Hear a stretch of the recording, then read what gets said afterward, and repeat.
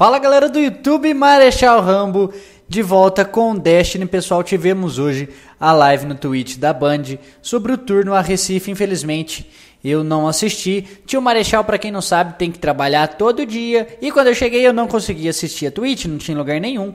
Mas no site da IGN, pessoal, tem duas partes é, bem grandes da, da live, duas partes de 20, 20 e poucos minutos. Eu vou colocar o link do vídeo aqui na descrição. Eu tirei um print aqui das telas, pessoal, para tentar explicar um pouco mais para vocês sobre o tour que eles fizeram no, no Arrecife. Então vamos lá, começando com a Queen's Wrath. Wrath significa ira ou fúria. Poder, lá no, no trailer a, da, o primeiro que apareceu das Casas dos Lobos, a, é, ela fala fúria, né? Então seria a fúria da rainha, que é essa, essa mulher essa desperta é uma. O nome dela é Petra. Olha lá. É, ela serve a rainha e ela tem uns contratos ali que a gente pode comprar. Vende também é, emblemas e tonalizadores. Ali a gente pode ver o rank 1, rank 2 e rank 3. Não sei se vai ser o máximo, mas ali é aparecendo até o rank 3. E os contratos, pessoal, olha só, é, que legal que a gente vai ter que fazer. Eu coloquei um aqui para vocês terem uma noção.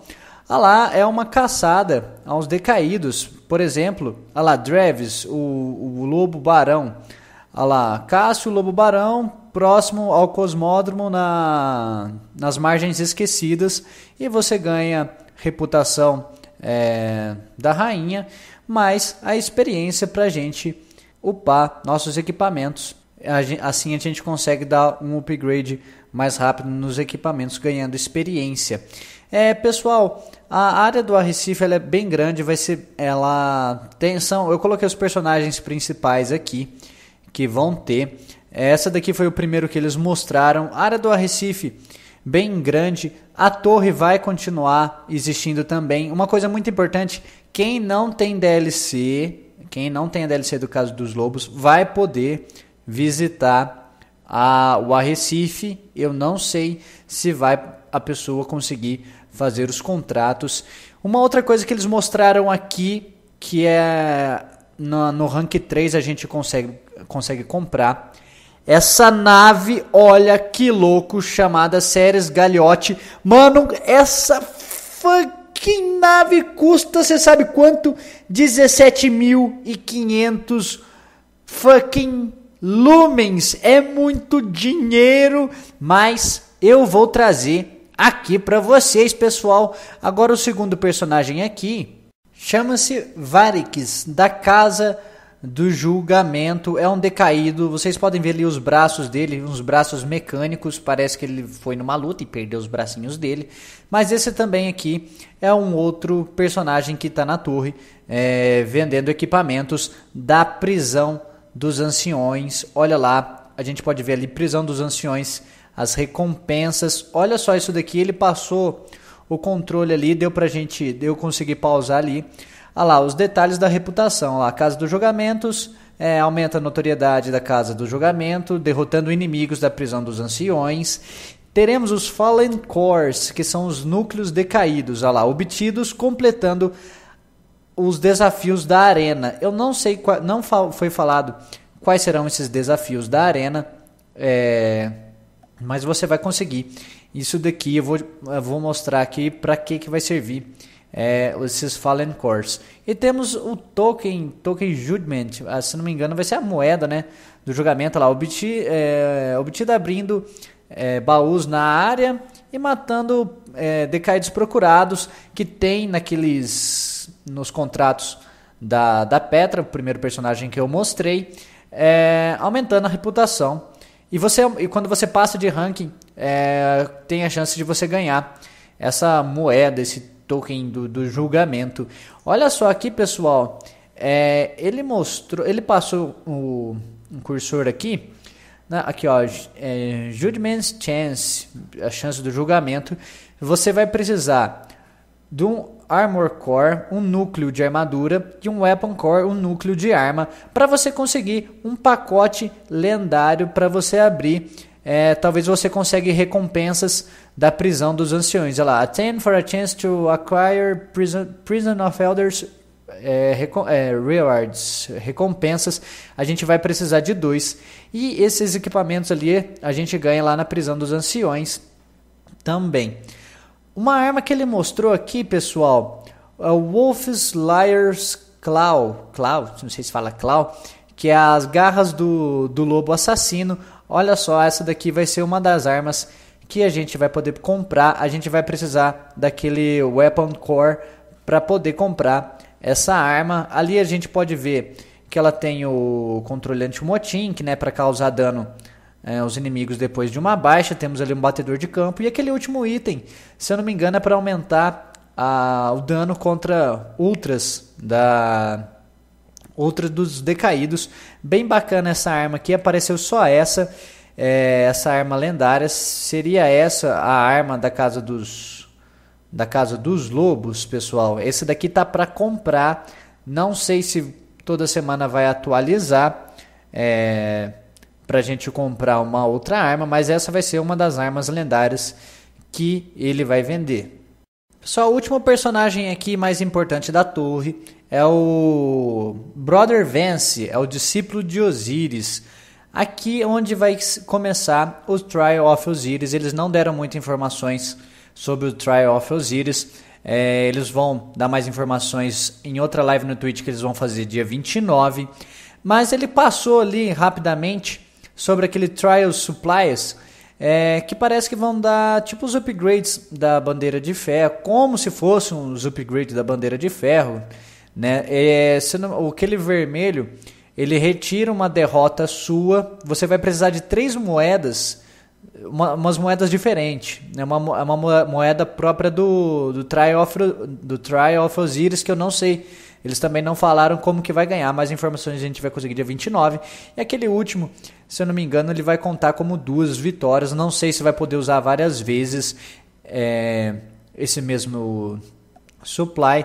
Vamos ver como que a gente vai também conseguir as moedas. A gente pode ver ali o, o é uma pessoa, não é, é, é um humano, não é nenhum desperto, não é nenhum decaído, não é nenhum arcano também que eu achava, porque o Osiris é um arcano na, nas cartas de Grimório durante a história fala que ele é um um arcano, mas é um humano que que está ali, né? Talvez seja um humano arcano, né? Mas ele não foi revelado, revelada a face dele, mais informações dia 29.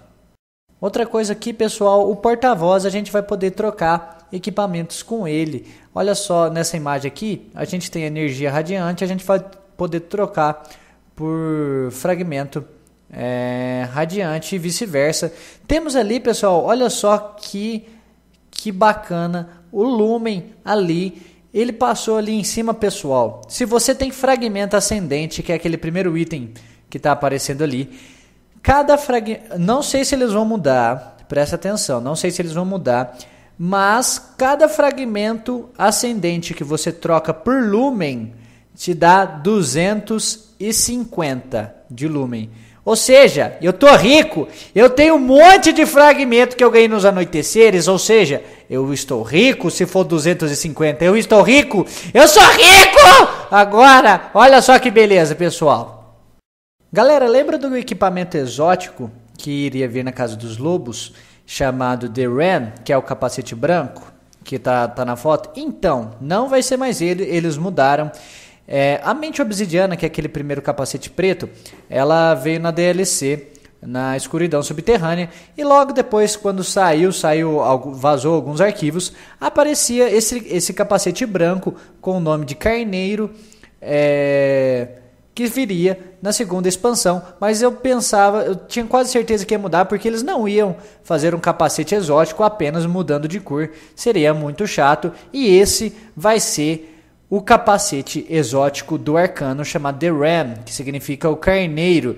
Olha só o bode capetão. Esse equipamento ele vai deixar os inimigos atordoados quando você ativar o resplendor. Quando você morrer, você vai ativar o resplendor.